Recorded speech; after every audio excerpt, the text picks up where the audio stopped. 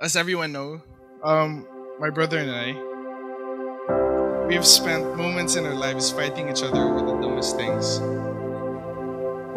Like he would literally beat me with chinelas. No, serious. He would beat me with chinelas just because he was bored in the house, especially when mom and dad weren't there. He'd do anything he wanted, beat me with chinelas. I'd had to kick him out of my room just so he would stay with me, but that didn't keep him. He actually crawled through the roof, through my mom's balcony to break my window and hit me with his slippers. Mom,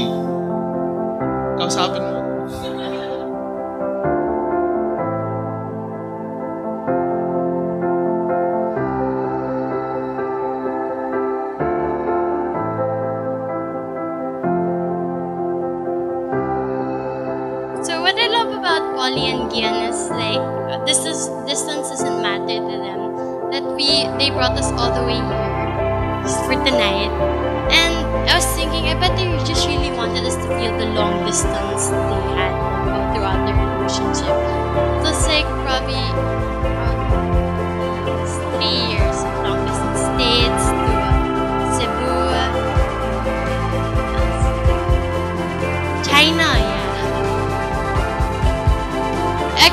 happier for them to have made it through all those like places and years to get to this point.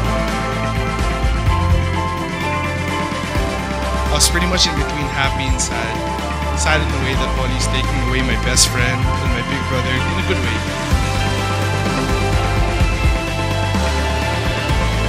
And I'm happy because I know that both of you are going to be so happy. And I'm happy that going to be my new sister. My new big sister. And I do know for a fact that she is the love of Gian's life.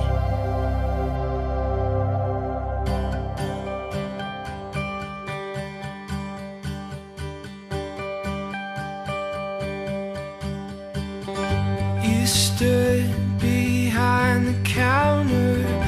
Walked up, keeping my head down. Had